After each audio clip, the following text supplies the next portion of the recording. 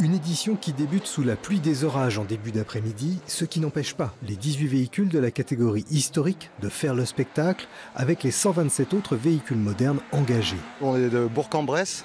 Après, le passage est pas mal avec euh, le petit S et tout.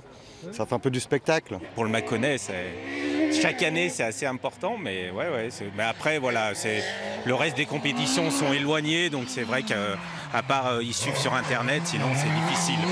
Trois épreuves spéciales cet après-midi à travers les paysages du Mâconnais. Pour Laurent Lecky sur Skoda Fabia, la stratégie du jour était de jouer la sécurité. Il est second au classement provisoire. C'était complètement détrempé, donc euh, on, était, on va dire, 80% du plateau à, partir en pneu pluie pour, euh, pour, pour, vraiment assurer, parce que c'est vrai qu'un rallye c'est très long, euh, surtout le rallye des vins, il est, très cassant pour, les voitures, pour, les bonhommes aussi, c'est assez physique.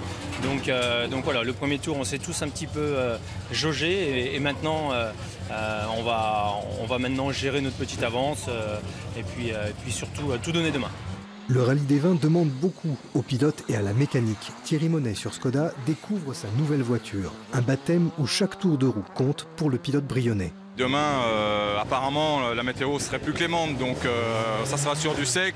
Pour nous, c'est un peu plus rassurant puisque la voiture, on la connaît un petit peu plus sur le sec. Le rallye se poursuit demain avec trois autres épreuves, a priori avec un temps sec. Le pilotage fera la différence.